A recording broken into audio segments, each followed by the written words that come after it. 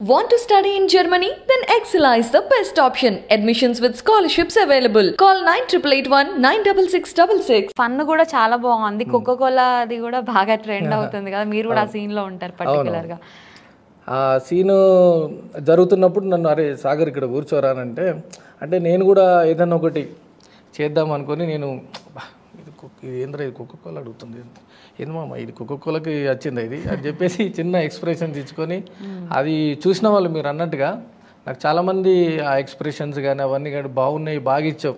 Dialogue లేకపోయినా expressions wise బాగా నచ్చిందని చెప్పి చాలామంది అన్నారు. బాగా క్యాచ్ చేశారు మీరు. ఓకే.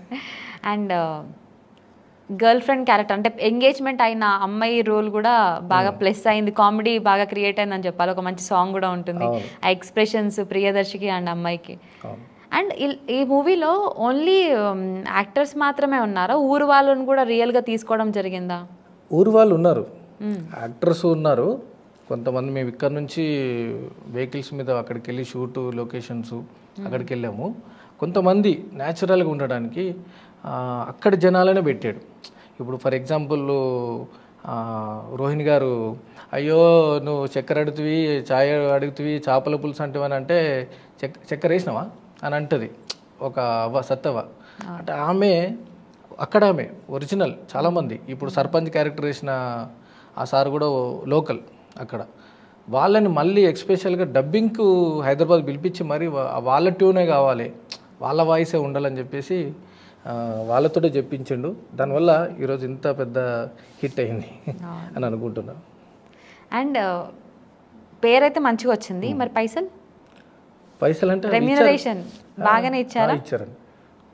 వాళ్ళు ఏదైతే మేము మాకు చెప్పారో అది అన్నీ ఇచ్చారు. దిల్ రాజు గారి గురించి చెప్పండి. అంటే రాజుగారితో పెద్దగా మాకు పరిచయం ఎక్కువ లేదు. కాకపోతే మాలాంటి వాళ్ళకి అంటే ఒక కొత్త ఆర్టిస్టులకి చాలా సపోర్ట్ చేశారు ఈ సినిమా ద్వారా.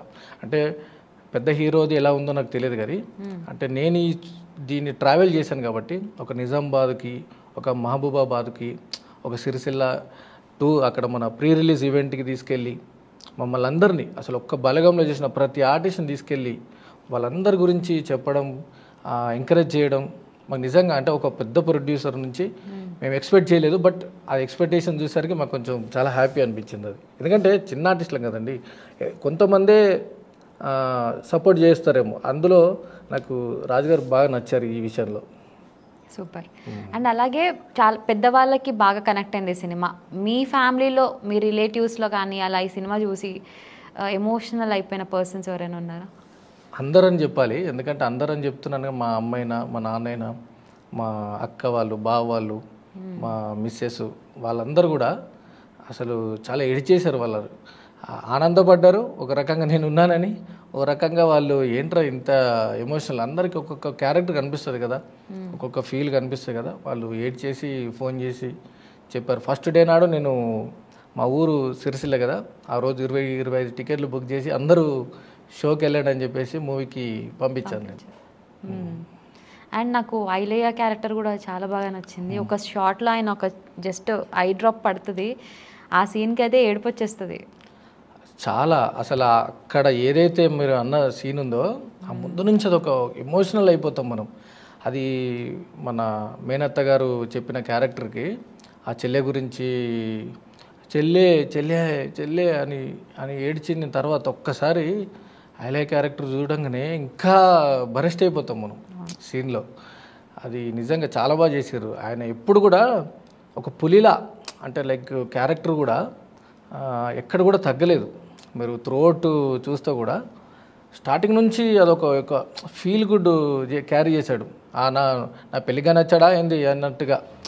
బాగా వచ్చినా కూడా మర్యాద లేకుండా. కానీ ఒక చిన్న ఉండేది.